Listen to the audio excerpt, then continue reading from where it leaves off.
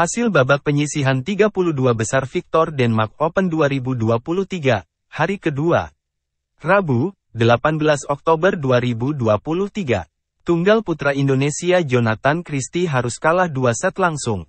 21-17, 21-12 atas tunggal putra China Taipei Chou Tianchen. Sektor tunggal putri, Putri Kusuma Wardani harus kalah dengan Chen Yufei dua set langsung.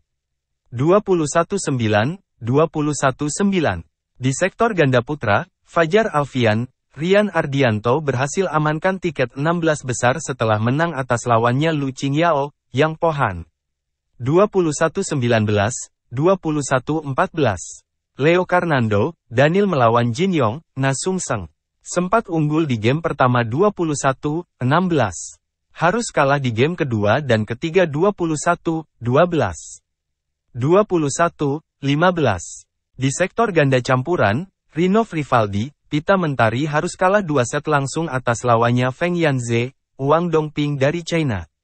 21, 13-21, 12. Sedangkan Dejan Ferdiansyah, Gloria Wijaya menang atas lawannya Mark Lamsfus, Isabel Lohau. Game pertama 13, 21, game kedua 21, 15, game ketiga 21, 15.